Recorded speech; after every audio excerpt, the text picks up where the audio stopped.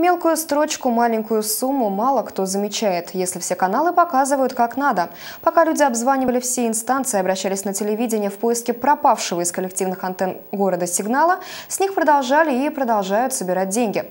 Распутать эту историю взялась прокуратура и вроде бы даже назвала, кто и что нарушал.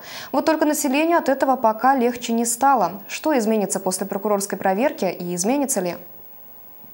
После того, как в городе массово начал пропадать сигнал коллективных антенн, люди разбились на два лагеря. Первые терпели, писали жалобы и боролись за то, чего лишились. Другие подключали платное, кабельное, спутниковое телевидение. Однако и те, и другие продолжают платить за обслуживание сетей коллективного приема, так как сейчас отказаться от этого практически невозможно. Говорится, сходил, они говорят, ну, чтобы а, ну, оплату сняли за этот, за пользование антенной.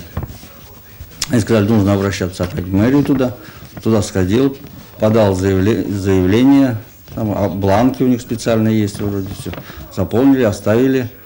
Это было, вот уже два месяца прошло, не сняли оплату. Семье Сидоровых продолжают начислять за обслуживание коллективных сетей приема сигнала, хотя они ими фактически не пользуются уже два месяца. Заявление приняли в Центре информационных технологий, но дальше тишина. Тот самый Центр информационных технологий, который этим летом взялся наводить порядок с общедоступным телевидением, вообще считает, что за это должны платить все, независимо от того, сколько каналов у них есть. Описать заявление бесполезно. Это вообще не их обязанности управляющих компаний или кого-то еще. Они заняты другим спором с провайдером МТС, который уже привлек внимание прокуратуры. Цитата из сообщения на сайте прокуратуры. Центр информационных технологий незаконно заключил с городским расчетным центром агентский договор на обслуживание коллективных телевизионных антенн радиотрансляционных точек, поскольку собственником этих сетей является МТС. По результатам проверки внесены представления об устранении нарушений жилищного законодательства в адрес ГРЦ, Центра информационных технологий и МТС.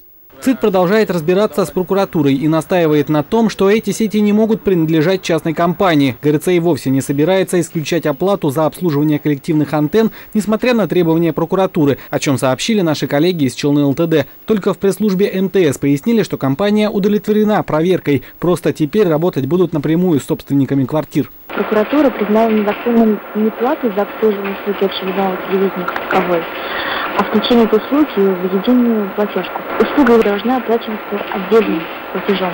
Подобная практика выставления счетов напрямую жильцами нами уже успешно используется в Нижнекамске и Альметьевске. Буквально в ноябре жители Новожнехинов получат первые квитанции. Представитель МТС также пояснила, что с отключением проблем не возникнет. Тем, кому эта услуга не нужна, должны обратиться в офис компании. Егор Орлов, Андрей Буслаков, РЕН-ТВ «Набережные Челны».